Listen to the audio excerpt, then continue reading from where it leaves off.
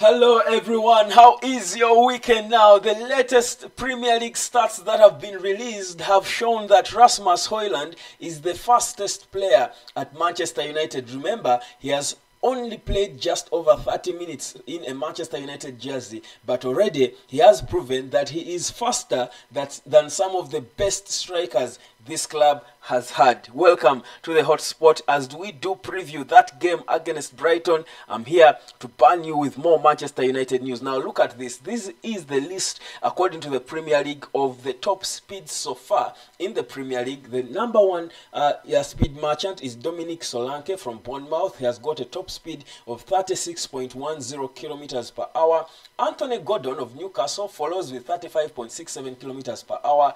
Anthony Gordon still has uh, a top uh, a speed of 35.65 kilometers per hour. Then Adama Traore of Fulham, very fast guy, powerful, has a speed of 35.55 kilometers per hour and there follows a red two of them in quick succession but the newbie is the one that will excite and surprise many Rasmus hoyland uh, of Manchester United or with a speed of 35.45 kilometers per hour. If you remember at that time when he was disappointed by Marcus Rashford, putting on a, a, a you know a very powerful run straight to, to the goal to give Marcus Rashford an option, but Rashford playing selfish and uh, wasting his energy for nothing. But it was not entirely for nothing because that top speed that he showed did uh, you know uh, make him the fastest Manchester United player so far this season. Uh, last season, our fastest player was Marcus Rashford. Uh, we've had, I think, Diogo Dalot that has had the top speed of about 35 kilometers per hour uh, this season.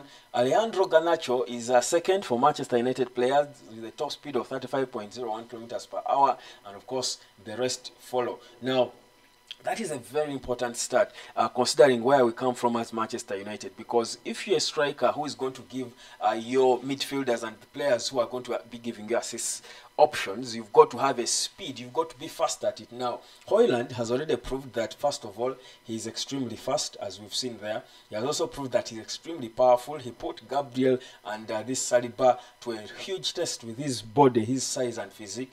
Uh, so he has got uh, a lot of pace. Uh, he's involved in play. Already, he's showing all the attributes of a top striker. Now, what is interesting with this speed, though, is that uh, his speed is already faster. He has proven already in 30 minutes at Manchester United, he has proved that he's faster than Wayne Rooney.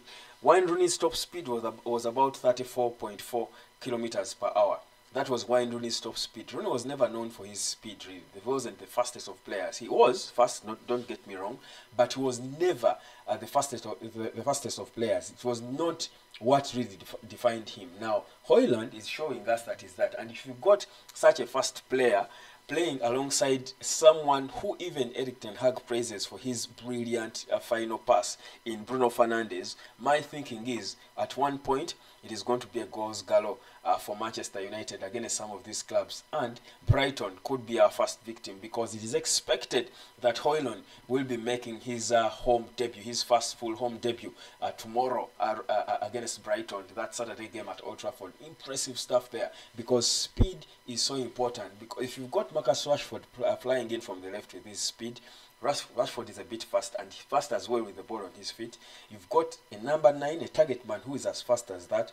Then you've got a winger. Antony is not there, but Garnacho is another. He follows him in terms of high speed. Pellistri as well is another fast player we've got. We've seen him making direct runs to, to the goal. He's a bit direct and pacey with the ball. I feel like this is something uh, important. This is a dimension, a new dimension uh, that uh, I think he brings that is going to make us a little, uh, a, a, little more of a threat going forward. So for me, all these are signs that we've got the right striker in there to come in and you know give us the goals that have uh, you know been elusive, uh, that have been playing hard to get for Manchester United for the longest time. So Højlund's situation for me is a, is a very, uh, an extremely promising one. And it is one that, as United supporters, we should be excited about. So, uh, Rasmus Højlund and his top speed, because the Premier League stats do not lie. But uh, how much, who are some of our fastest strikers? If I think about them, I think uh, uh, Robin Van Persie was quite fast. I don't think United is known for having uh, the fastest strikers. We've had smart striker. I think our strikers have always been more smart than fast. Højlund seems to have all. I think he's smart, seeing from the few runs he was making, and in that debut against Arsenal. I thought I think he's a smart player. He's a technically gifted player. Uh, but uh, Robin van Persie was extremely fast. Wayne Rooney, yes, was decently fast. Berbatov, no, not the fastest. He was so smart. It was more of his brain than his speed. Uh, then and his natural talent, I think. Then uh, uh, Ruud van Nistelrooy was smart because his goals were more of positioning and being in the right places and never missing a tap in and all. Uh, but also, uh, Van Nistelrooy was quite fast because we saw him making some, you know, decent runs back then. Yet he was playing with some of the toughest defenses. So, as a striker, if you're going to win and score goals, win win battles and score goals in the Premier League, you've got to have a certain level of speed and physique. And those two attributes are what I think are outstanding about Rasmus Højlund. But also his technical abilities, I think, have made him stand out from the rest. So we are playing a team like Brighton, which you know is good with the ball.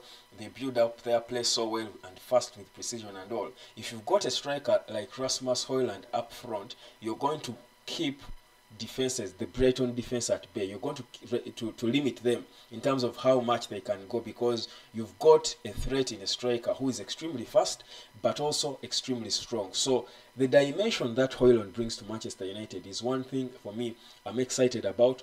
And uh, as we go into that game against Brighton, I think my all eyes should be on on, on Højlund and what he does, even when we don't, he doesn't have the ball. So I, I hope that uh, they get time. They haven't had a, uh, a, lot of time together after that Arsenal game, but I hope that these uh, two, these players get time, especially the forward players in Pellistri, uh, who most likely is going to be starting, uh, and uh, Marcus Rashford, and of course Rasmus Højlund. If they get time together and try to play uh, together, it could be Garnacho starting, by the way, um, as, a, as a wing on the right. it will depend on how Erik Ten Hag feels whether he can play from the right because Garnacho is mostly good coming in from the left, uh, the way Jadon Sancho is, who is not in the squad by the way, and Marcus Rashford. But uh, whoever you know is put uh, is put in there, I feel we've got uh, young, fast players in our uh, in our attack, which is important, and they give us a special dimension, and they will make any defense busy. They will be a threat to any defense because of that pace. So I hope they've got time to jail because we saw some level of selfishness uh, from Marcus Rashford